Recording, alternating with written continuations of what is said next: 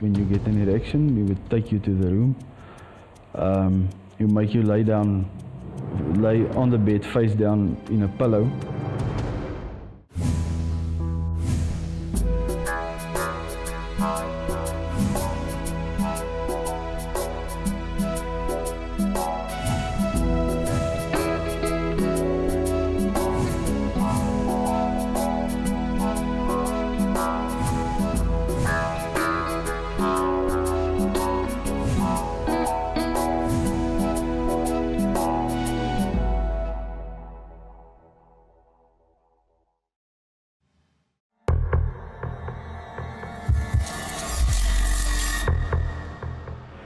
Is Pieter. Uh, I was originally from the Northern Cape. I grew up on a farm, actually, um, a sheep farm close to a town called Kenhardt.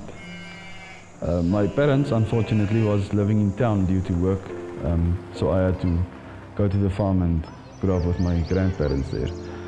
Um, at a later stage, things started to change. I had to go to school. Um, and with both parents working, we went to live in a hostel. Living in a hostel was a different animal all on its own.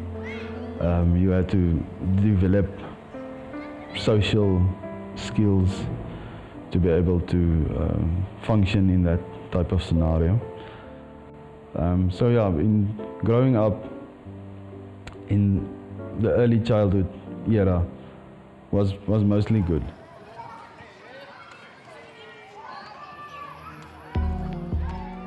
So my father was an interesting figure. Um, I myself um, saw him on more than one occasion physically assaulting my mother. Um, but the verbal abuse that he laid upon my mother was worse than on us. Now that put my mother in a situation where she did not know what to do. She tried to survive from day to day. So we didn't get any protection from her side because she was in a survival struggle herself. Uh, he would switch from the verbal abuse to massaging our testicles in front of his friends. Um, and they would sit there and have a big laugh about this because in my mind obviously they did the same to their kids. And when you reach a certain age, you you go through a bio biological process. So when someone starts playing with your testicles, you start to get an erection. Then my father would actually beat us because he said we are we are doing something wrong. Uh, this is not how you're supposed to be. You, I must play with your eggs and you must stay quiet about it. And when you get an erection, we would take you to the room um, you make you lay down, lay on the bed face down in a pillow, and he would give you six shots with his belt. You never knew when it came. It didn't. He didn't make it get over quickly. He would try and stretch out that experience as far as possible.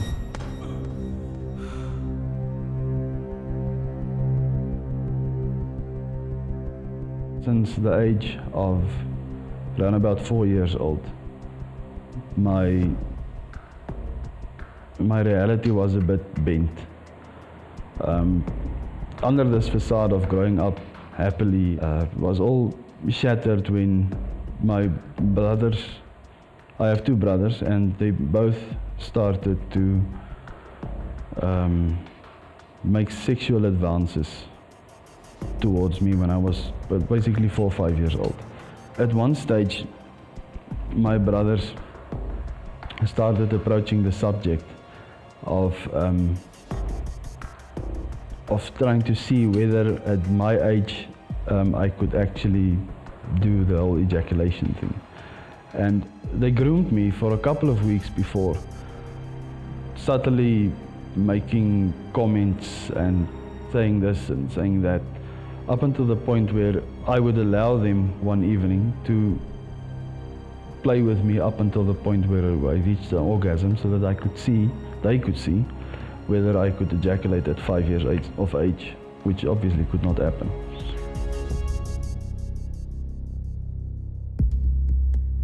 It was a summer evening.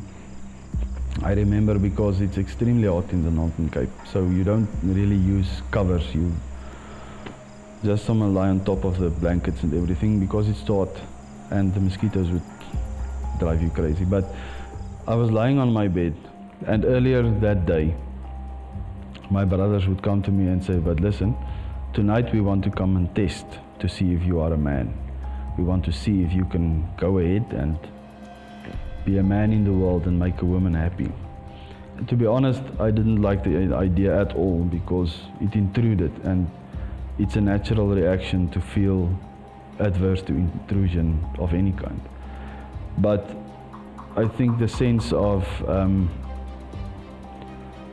of trying to please my brothers and what they wanted to achieve was more intense. So I allowed them. Um, they would wait up until the point where my parents were fully asleep. And they approached my bed. And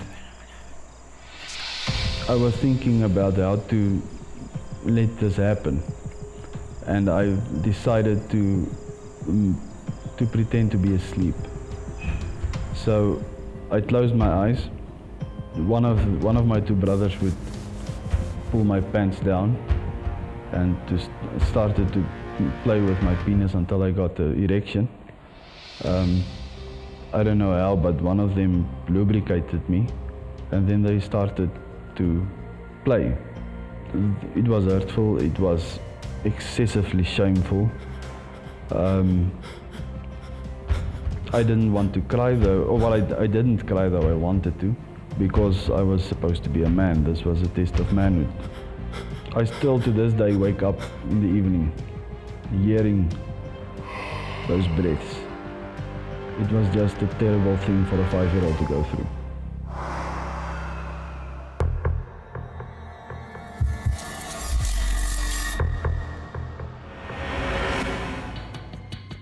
What they said was um, that I'm available for anybody to have sex with. I, I'm standing there waiting. People can just go and, and do what they want to do.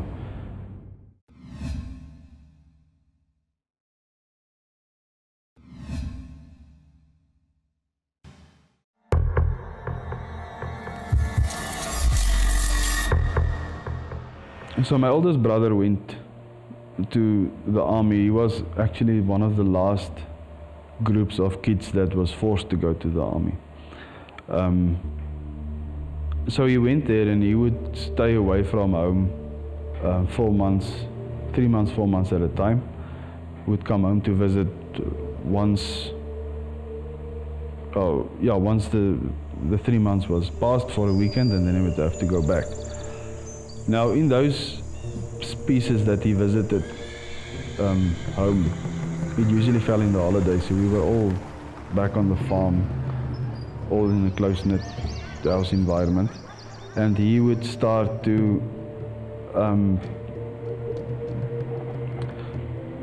introducing me to, to pornography, videos, books, written books and magazines, all different kinds of material. We were, we were sitting there paging through these magazines. Then he said that he wanted to perform oral, oral sex on me, and I had to do the same to him. Now, at that stage, um, we have been discussing sex and oral sex and all different kinds of things um, to an extent where I thought, well, we've talked about it, so let's do it. Um, he did not, he didn't force me physically, but he prepared me mentally for a very long time before the act happened. Um, so he did what he wanted, and I did. Uh, I performed oral sex on him as well. Um, and the following evening, he suggested that we take our um, sleeping bags and sleep outside on the lawn. And he brought a couple of his magazines, and we would page through them and talk about whatever was happening on the exact page. Um, and then he said that uh, now it's time to physically have sex. So that was the evening that he raped me.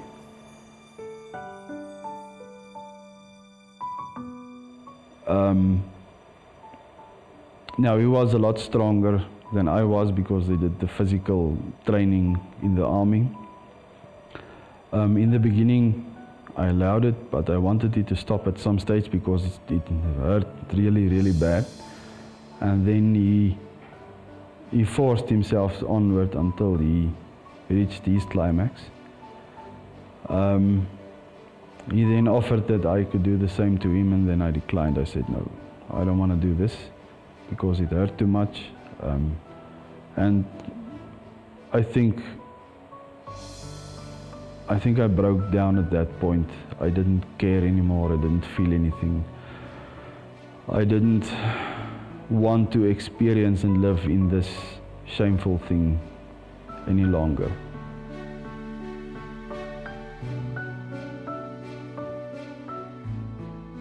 After, after the rape incident with my brother happened, uh, I went back to school and tried to be as normal as possible um, and tried to appear that nothing really seriously has happened, um, which obviously failed because at, at that stage, some new kids from um, from another country came and moved to the school because it was an agricultural school. So they came for the uh, for the opportunity to learn there. Now, these boys, there were three of them. They obviously picked up something was wrong with me as a person. So they would, at, at, after getting to know me a bit better, start to slowly but surely um, try to groom me in a new direction. Um, they would pass hints of, of me being a homosexual.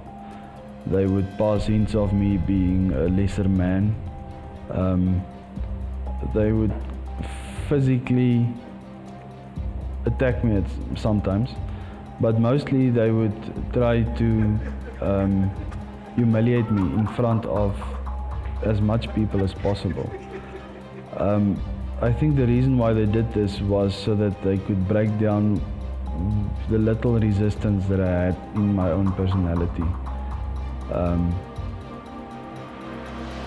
to such a point where they could actually manipulate me into doing anything that they wanted to do, which they did. Um, it came to a point one afternoon where they had broken me down so badly that they suggested that we go and have group sex with me on the receiving end. Um, so after the study period we had each day, we went up to their room. They all, the three of them slept in one room, and uh, they would then ask me to start undressing and dancing and all kinds of weird things. Um, and they would stand in the corner with big smiles on their faces, um, which I saw at that stage as anticipation. Um, what I felt at that point of time was uh, I really did not care anymore. Um, let be what will be and let do what will do and just get on with it. Um, one of them gave me a vial of Vaseline to lubricate myself because they then wanted to make turns um, in having sex with me. So I was standing there butt naked, um, well lubricated for the act that was about to come. And just as they asked me to bend over a chair and they wanted, so, so that they can start with the whole process, they all burst out laughing.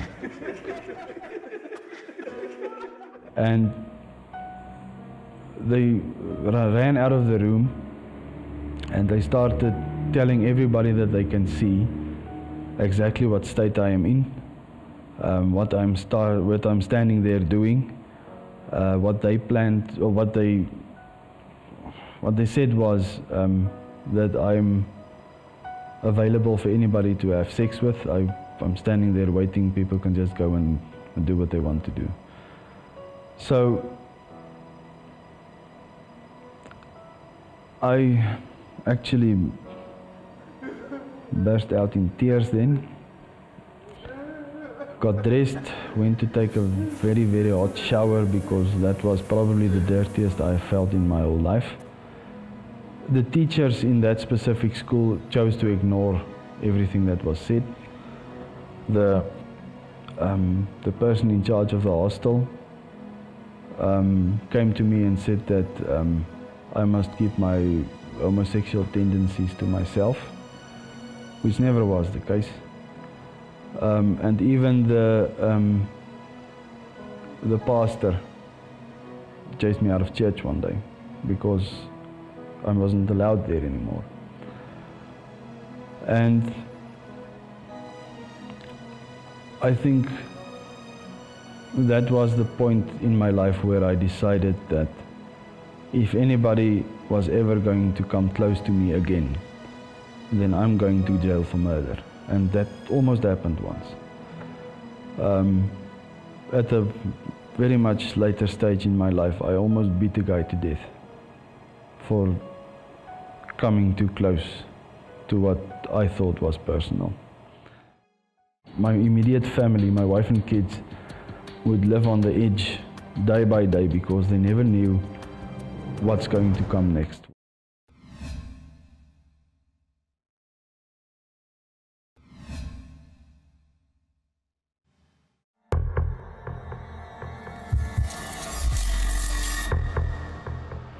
When I finally left school, um,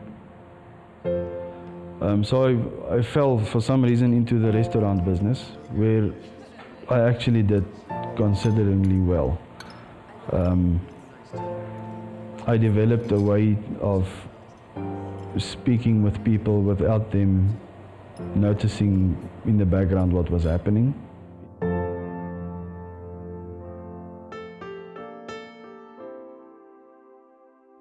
Um, then finally, I landed up in a town called Postmasburg. I met my wife there. Um, later, we got married and we, we had kids. But the year on year problem continued for a while, um, which meant that I could not build up any sustainability in my, in my married life. Um, the all, all, the time when when my my adult life and my married life started to grow and to develop into something permanent in the back of my mind I was haunted every night um, about what happened in my childhood. Um, I'm 40 years old currently. By the age of 35 years old I started developing severe depression um, I would have mood swings like nothing else. Um, my, my, my immediate family, my wife and kids, would live on the edge day by day because they never knew what's going to come next. What's, when, when am I going to go into a rage fit again? Um, I would be happy for five minutes and then I would be fighting with everyone 10 minutes later.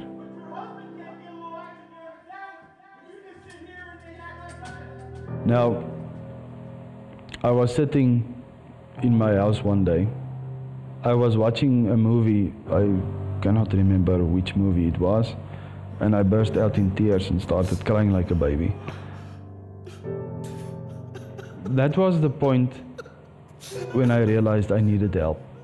I had a huge problem that needed to be fixed, and I cannot do it alone.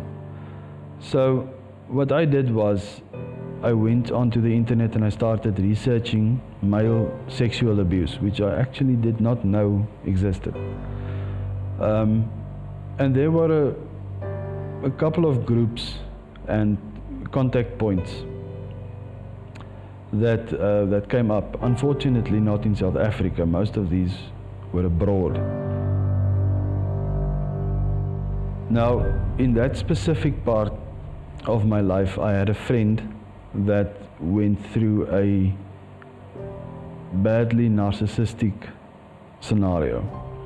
and he spoke previously with uh, a guy called Martin. Now, Martin is the leader of a group named Matrix Men. Now, Matrix Men is a is a group of male sexual abuse of survivors. It's guys that went through similar experiences that I did, and they share what happened to them in a group se- setup where you can then basically either go and listen or share your own experience. And we sat, sat there and we just touched on what I wanted to tell him about what happened to me. And all he did was listen. And that is all that you need